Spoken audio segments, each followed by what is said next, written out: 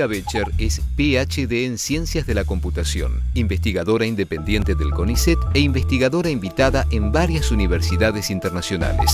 Theodore Sleiman es PhD en Matemática, profesor de Matemática en la Universidad de Berkeley y alma mater del semestre en Computabilidad, Complejidad y Aleatoriedad que se realiza en Buenos Aires de enero a junio de 2013. Ellos forman parte de los autodenominados científicos del azar. Ahora en el programa vamos a hablar un poquito en castellano y otro poquito en inglés. Nos acompañan aquí, como recién decía, Verónica Becher, ¿estoy pronunciando bien? Bien. Y Theodore Sleiman. ¿Es that correct? That's correct.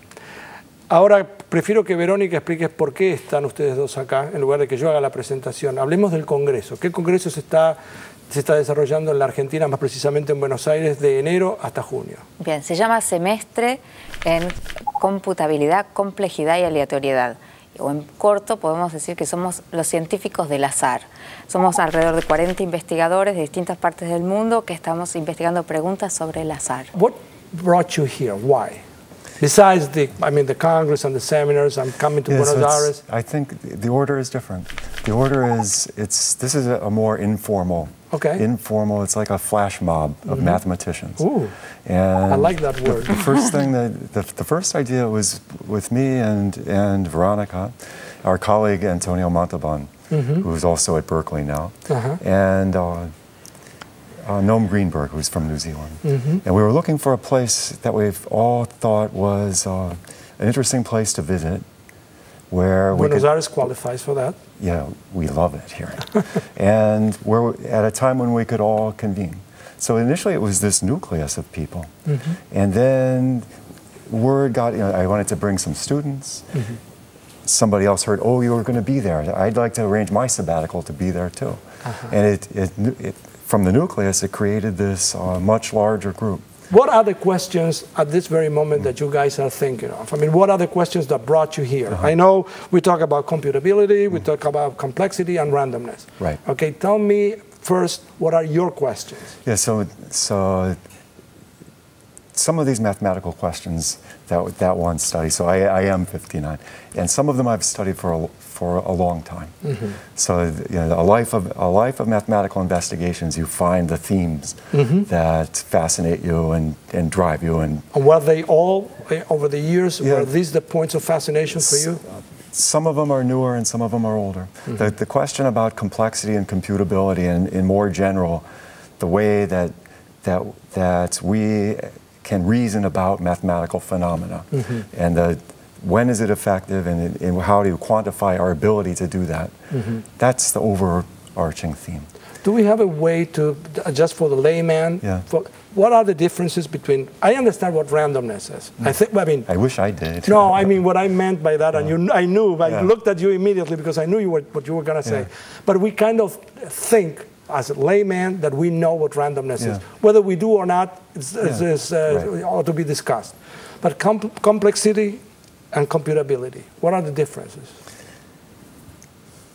I guess as a technical, when somebody talks about it technically, people are in computer science are looking at complexity within the realm of what's computable. Uh-huh. Things that can be computed, computed quickly so that you could run it on your laptop. Things that could be computed in the abstract if you had a computer the size of the universe. Mm-hmm. Right? One is the laptop is a lot can analyze much only simpler problems than the mainframe, the supercomputer, the hypothetical. But we are not talking about P versus NP. No.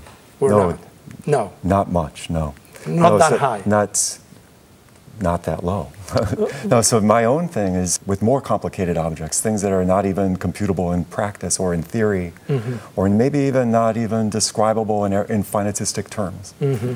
Right? You can make that distinction between what can I build out of and reason about finitistically, for what things do I need infinitary apparatus, Mm-hmm. and for what things do I need the full the full power of every kind of mathematical object that people have ever considered. So full-blown analysis or, or uh, We don't know. wha- whatever we can imagine. If you can come up with it, we can use it. Before I talk to Veronica for a quick second, I would like to ask you 20, 30 years ago, Mm. we did have computers, but we didn't have the computers that we have today. Right. So the questions had to be different. Completely different. S- some questions Yeah, some, some questions are actually the same. Well, This is- randomness probably is the same Randomness has been studied forever. for a long time. Some, some, there are some questions which became accessible that uh, weren't, weren't accessible before, particularly in numerical analysis and mathematical modeling and models that were too complicated to, to do on pencil and paper. But then there are other questions which, which actually we have been working on recently, mm-hmm. where what one has is classical problems, which the computer can give you insi- visualization for. Mm-hmm. And you can look for computational instances of things that were conceptually easily accessible. Well, you can And discover and now we patterns want- that probably you couldn't before. Right. and Look at the human see them. genome, just Correct, give right. Mm. Correct. Vos querías decir algo y yo te interrumpí. No, estábamos pensando específicamente problemas que estaban abiertos entonces, digamos, en el momento en que se inventa la computación, que esto viene del de Alan Turing, este gran maestro que inventó la computadora como objeto matemático, precisamente a partir de las cosas que la computadora no podía hacer. Y ahí empieza, digamos, la historia de lo que hoy se llama teoría de la computación, que es en los temas donde Sleiman es especialista total. Incluso se une con el azar, con ese material que ves ahí, que son unos, eh, una pregunta muy vieja que habla de la posibilidad de decir, bueno, hay un número que tenga propiedades del azar, de lo cual nos podemos meter a decir cuáles son y qué, qué propiedades, que se pueda computar. Y Alan ¿Qué Turing quiere decir computar? que, se, que haya una computadora que le des el bot- un botón Sí. y empiece a mostrarte los dígitos de la expansión decimal, como en pi 3,14159, etcétera, etcétera. Queremos un numerito que tenga propiedades garantizadas de azar y que eh, lo pueda, pueda hacer la salida de una computadora. Es, por ejemplo, expresado en base 10, como en el Sí, sí. caso de pi o como el número de oro, que te lo escuché contar Ah, en la facultad. Hace muchos años. Sí. Vamos a hacer una pausa. Estamos hablando aquí con la doctora Verónica Becher y también con Theodore Sleiman, especialmente, eh, sobre todo porque se está desarrollando en la ciudad de Buenos Aires, en la Argentina, un congreso internacional que congrega más de 40 Personas. Más de 40 personas hablando de complejidad, computabilidad y el azar. Enseguida volvemos en Científicos Industria Argentina.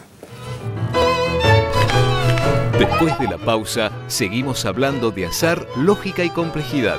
Y momentos después, descubrimos los restos de una aldea prehispánica en la Patagonia.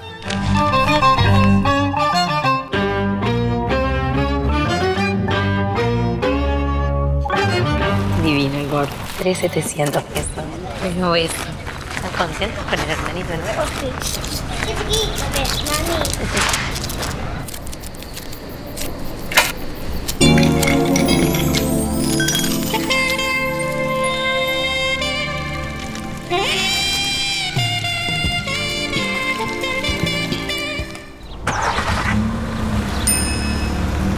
Gran Siena. Hay lugar para todos.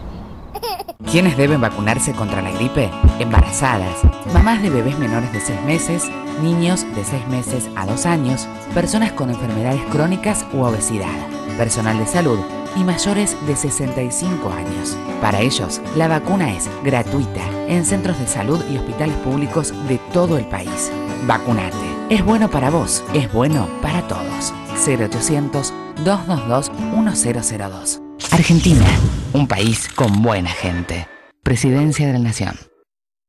Podés seguir pidiendo deseos o empezar a cumplirlos. Con Quiniela Plus podés ganar 800 mil pesos por solo 4 pesos. Lotería de la Provincia de Buenos Aires. Jugar compulsivamente es perjudicial para la salud. Asistencia 0800 444 4000.